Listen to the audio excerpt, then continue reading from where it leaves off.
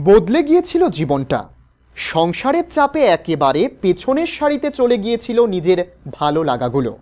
মাঝখানে বিরতি প্রায় দু দশকের। কিন্তু কথাই বলে, স্পোর্টসম্যান স্প্রিট যার থাকে, সে সব পরিস্থিতিতেই ঘুরে দাঁড়ায়। জীবনযুদ্ধে জয়ের গল্প বলে।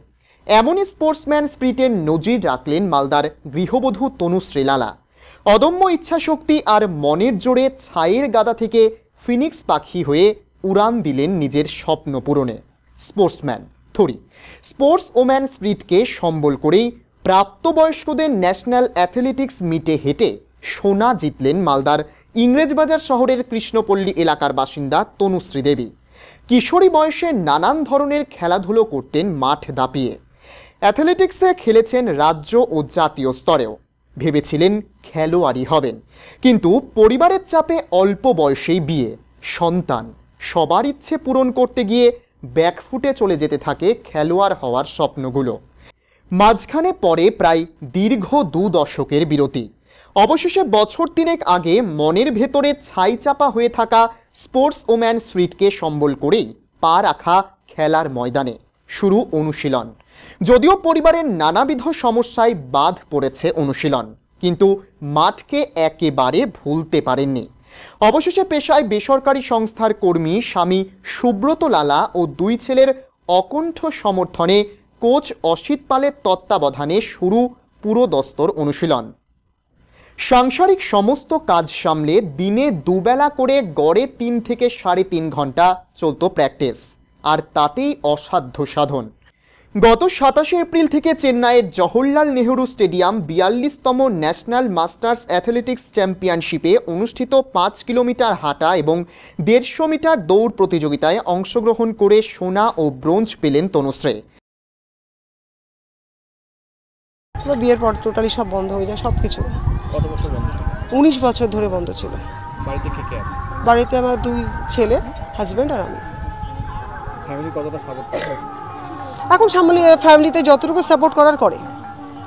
এমনি ফ্যামিলি থেকে কোনো বার্ডেন এই মুহূর্তে নেই যেটা আগে ছিল। কতক্ষণ প্র্যাকটিস করছেন? এখন আমি সকালে দুই ঘণ্টা আর আপনার বিকেলেও হচ্ছে আপনার দেড় ঘণ্টা মতো প্র্যাকটিস করি। সময় বুঝে প্র্যাকটিস করি যখন সময় পাই তখনই মাঠে চলে আসি। আগামী লক্ষ্য? আগামী লক্ষ্য ইন্টারন্যাশনাল করা। কি সমস্যা? ইন্টারন্যাশনাল করার তো আমার লক্ষ্য আছে। কিন্তু আমার যেখানে এখন যেটা প্রবলেম সেটা হচ্ছে ফাইন্যান্সিয়ালি প্রবলেম যে ইন্টারন্যাশনাল করতে গেলে তো একটা ব্যাপক খরচার ব্যাপার আছে। তো সেটা আমার দ্বারা এখন পসিবল হয়ে উঠছে না। তো যদি জেলা আমাদের জেলা থেকে আমাকে সাপোর্ট করে তাহলে আমি নিশ্চয়ই ভালো রেজাল্ট করার চেষ্টা করব খেলতে যাব। এই সাফল্য কাকে বলবেন? নিশ্চয়ই আমার প্রথমত কোচ কারণ আমাকে যে পথ দেখিয়েছে।